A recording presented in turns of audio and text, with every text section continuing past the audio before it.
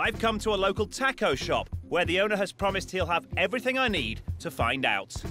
If I can impress you in 60 seconds, I want free tacos for the rest of my stupid little life. Whoa, for life? Yeah, absolutely. How about for today? Free tacos today if I can impress you in 60 seconds. You got a deal. Right, you got to help me out there. I need some things, right? I need, uh, I need a glass container. Uh, I Okay. need uh, a glove. I need a blowtorch or something you light your Okay, ovens with or something like that. Go, go, go. 60 Okay, seconds. okay. You're Um, here, I've got tacos. that for right, ya. that's fine. yes, Um, that's good. I got a torch. Okay, right. Will that work? Yes, that's perfect. I got gloves for safety. Okay, good. And I need some water. Oh, that's my water. Okay, good. Right. Ice can I have water, that? okay? I need some goggles. Where are my goggles? Where are my goggles? I need some goggles. I got shades.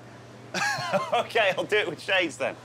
Now, regular Right. heat-proof kitchen glassware like this can be filled with all kinds of ingredients and safely heated in the oven to 500 degrees. My question to you, Randy, is if I take one teeny-weeny little bead of water from your straw and just flick it to the bottom of the jug, what's going to happen?